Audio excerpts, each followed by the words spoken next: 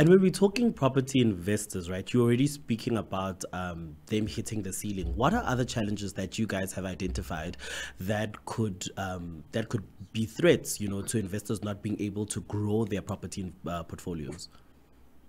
So it's incredibly important uh, for us that our investors remain healthy, that they can manage their existing portfolios. You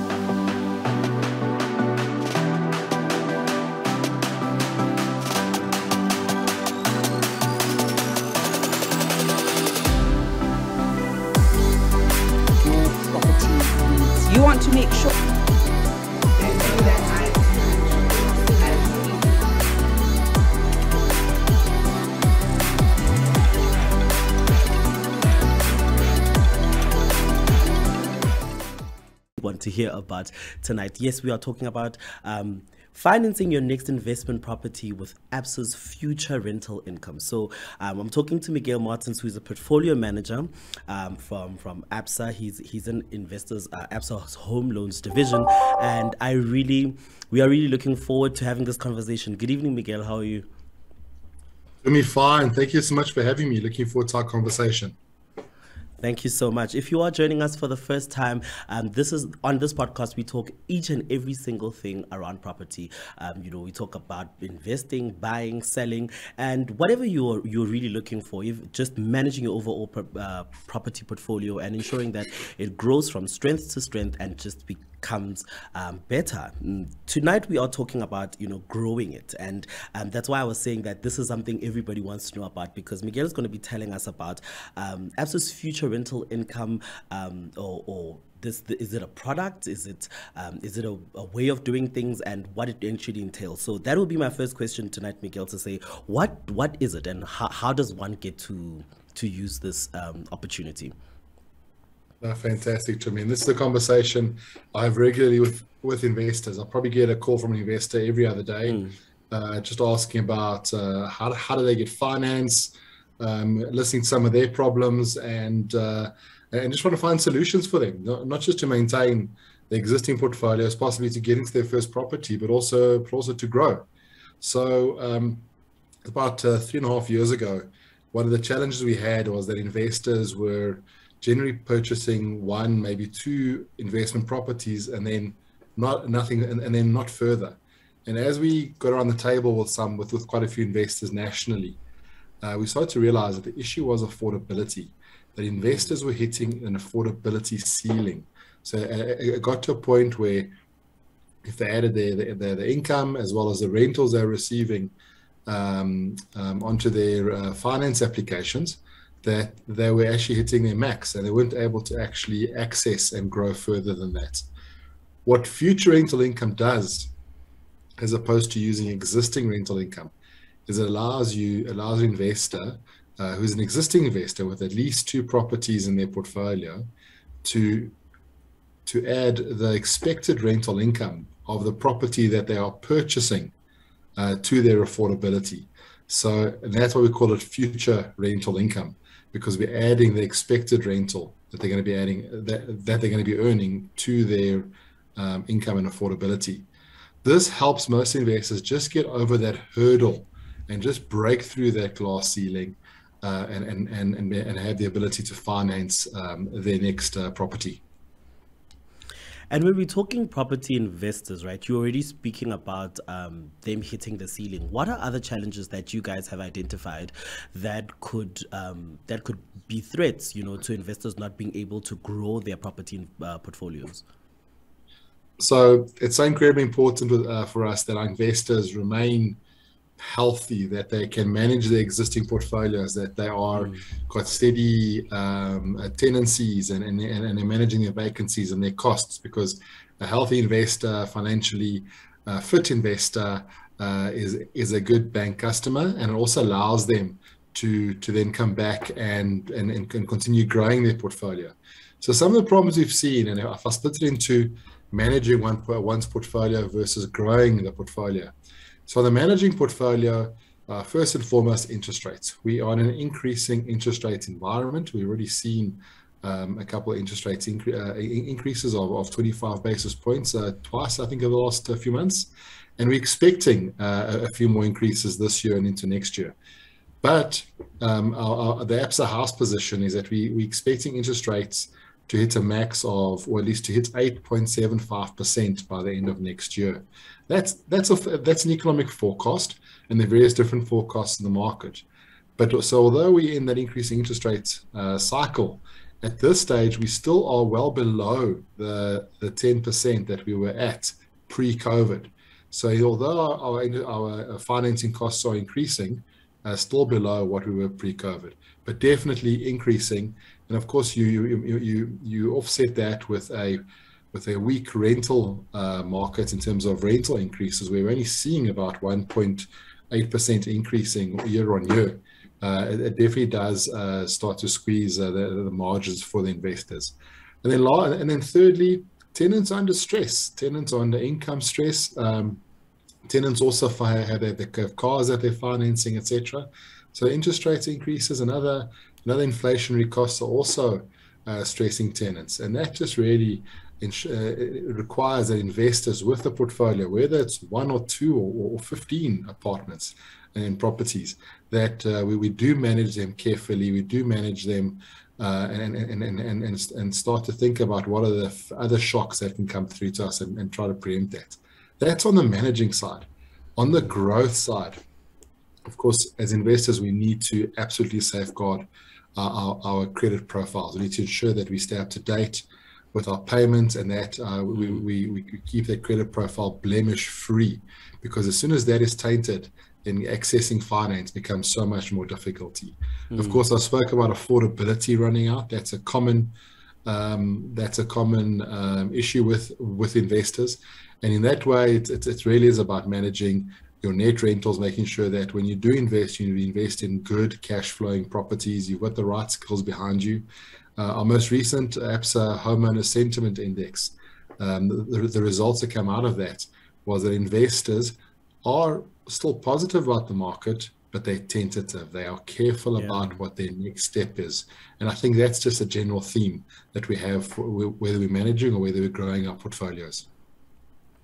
Sure. Um, and you know, with with something like this that in assists investors, um, are we talking specifically for residential or um, residential properties, or are we talking or all categories of properties? Because as an investor, someone might want to just open up their portfolio for from them just having um, residential to having commercial to having warehouses and even some some land. So does this is this open to to all categories of of of properties, or is it specific for for for some? So, so the, ABSA future future rental income is specifically for residential uh, properties. Uh, we're the only bank that offers it and, and, and, and, and creates ability for investors to extend their affordability with future rental income. And that's why we do it with, uh, with, with existing investors already in the market. When you start looking at commercial property uh, and the various types, although it's still property, it's a very different market with very different dynamics. Mm. And there, um, there, there are variations of uh, future income that are utilized, but that those are very different strategies, and and and, and the financing in that space is done quite differently. Uh, here, here we're looking at home loan residential investors and and there are a lot in terms of uh, market size there are a lot more residential investors in south africa than there are commercial investors.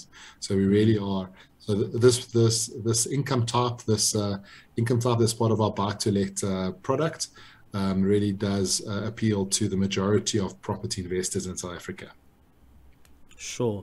Um, and now let's talk about the nitty gritties of of one actually getting into um, or using the service the, that ABSA offers. Um, how can someone go into it? And you spoke you spoke a little bit about that. But um, if I don't have um, the properties that or properties that I've already bought, and um, can I buy as a as a first time owner, or or is it just specifically for people who are going into to the investments? That's number one. And number two, how does one if if I'm already in this investment um, um, offering, how can I make sure that um, it, it, it stays lucrative and it stays working for me? Because sometimes, you know, things happen, especially when you're investing and with the different mm. movements in the market, you know, with COVID throwing curveballs into the industry. What, what ends up happening when um, an investment is not panning out as one had projected? No, absolutely. So, so quite quite a, quite a few points to be made there. So we partner with uh, two key industry uh, uh, partners, um, the South African Property Investors Network, uh, SAPIN, as well as TPN.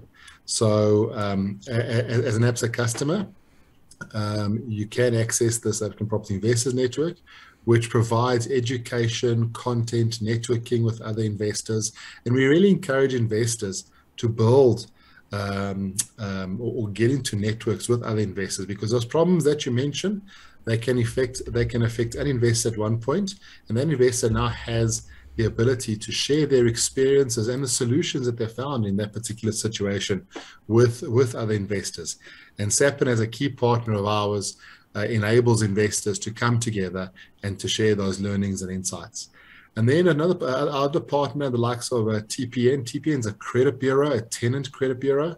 And with TPN, investors can, when looking to invest in a particular suburb, they can pull a suburb report. And in that suburb report, TPN includes what is the uh, good standing ratio, how many tenants, what percentage of tenants in that area are paying their rents, what are the average rentals, what are the average vacancies, etc. So some really good tools and reports that uh, TPN um, provides, as well as uh, property rental um, software.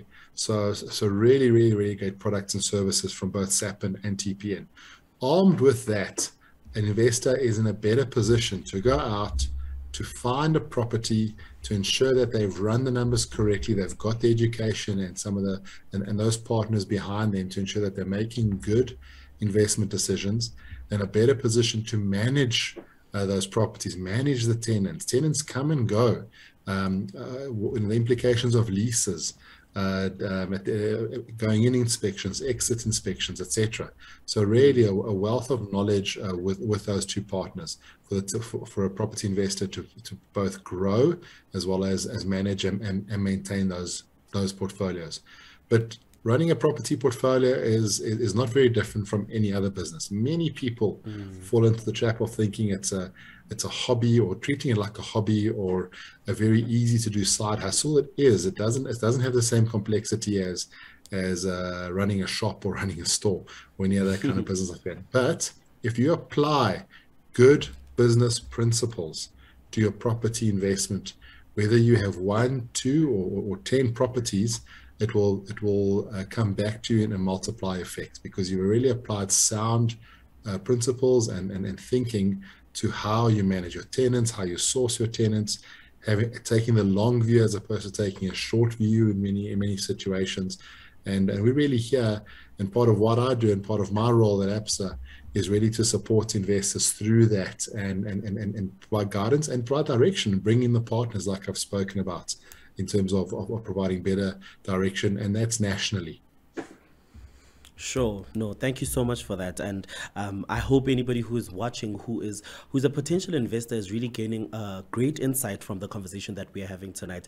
And you spoke some uh, along the lines of you know business compliance and making sure that you are on the right side, um, also of the law and understanding what it what each business or what the business entails. Let's talk a little bit about um, the tax implications of taking um, of of using a method like this. Is it is there specific tax impl- implications? Implications or even legal implications that speak to this particular way of financing, or is it just the same as um, would as it would have been done traditionally? Oh no, absolutely. There, there, you know, you, so so we're going into the business of, of property management, lettings, sales, potentially, etc. So, you know, a lot of this sounds like you, as, as, as a property manager, as an investor, you are partly an estate agent. If, if anything, just sourcing properties, you're partly a lettings agent. Um, you know, and and, and, and, and, and all the aspects that come with that. So, it is good to understand at, at, at a workable level the, the implications of the Property Practitioners Act as it just came in, even if it does apply, it does apply to most uh, self-managing landlords. It's good to understand that. In terms of the tax uh, uh, side of things, it's incredibly important to have a, a tax accountant that you can go to and you can explain to what you're planning to do, what your portfolio looks like, and understand the tax implications of that. All of a sudden, you have to include the rental income that you earn onto your tax return. But you can also add the expenses incurred uh, with that property um, on, on, on your tax return. And done correctly, there definitely are some tax advantages um, you know, with, with, with property. But it's definitely got to have the backing and the support from a professional like, like a tax accountant. From a legal perspective, uh, you're entering into a contract with um, with tenants. There's specifically legal uh, frameworks and requirements that that requires. So also good to have that legal support uh, and, and, ensuring that you've actually got an attorney who is um, experienced in, in, in, property law and, dealing with tenants. There are many attorneys out there that uh, that provide this kind of services. Our partner at uh, TPN, they provide a very a, an up-to-date uh, lease agreement that they uh, provide to their to their members and, and, and their clients. And utilizing that, you can you can have confidence that you are contracting in the best way possible in a way that protects that protects the landlord and their investment as well as is fair to the to the tenants. So various so property investment can seem fairly simplistic and easy to get into initially but uh, you know if you want to do it properly and especially if you're wanting to build a, a portfolio get to know the rules of the game because just like mm. soccer once you get to know the rules of the game you know how to bend that ball you know how to make it work in your favor. Yeah. Thank you so much, though. Um, the the question was really apt and uh, and on the pulse. Thank you so much. Um, we have we have actually reached the tail end of our conversation, and thank you so much for joining us tonight. Um, such great insights. The uh, uh, our f- uh, Facebook family is going is raving. Lebogang is saying great information, and Shireen is also really just saying that the information that we have received tonight has been so um, worth it. Thank you so much, Miguel, and have a good evening. No, fantastic. I'll go into Facebook and answer some of those questions and say hi to some of the uh, viewers Definitely. there. Please do that. Please do that. Thank you so much. Thank you, Tumi. Take care. Thank you. And that is how we reach the end of our episode tonight. And thank you so much for joining us. Thank you so much for staying till this part. And if you missed any part of the conversation for any reason, remember that you can still catch up on it and make sure that you watch from the very beginning. And if you joined us on the Twitter space, special shout out to you for staying till the very end. Until we see you tomorrow, same time, same place, right here on the Private Property Facebook page. It is good night. Thank you.